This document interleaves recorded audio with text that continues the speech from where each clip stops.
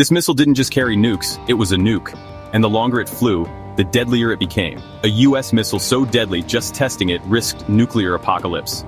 In 1961, the Pentagon greenlit Project Pluto, the Supersonic Low-Altitude Missile, or SLAM, a supersonic missile powered by a nuclear ramjet. Unlike regular rockets, this monster didn't need fuel. It sucked in air, superheated it with a reactor, and flew forever. One test run could have irradiated thousands of miles. Engineers admitted its sonic booms alone carried enough radiation to kill. To test its reactor, they built a $12 million concrete fortress in Nevada.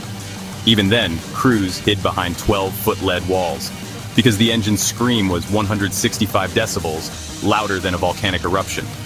In 1964, the Pentagon axed Pluto, not because it failed, but because it worked too well. A single leak could have turned allies into enemies and Earth into a radioactive wasteland. Today, its rusted test stand still stands in the desert, a monument to Cold War madness. And the SLAM missile, buried so deep even historians can't find it. Want more weapons so dangerous even the military got scared? Hit subscribe.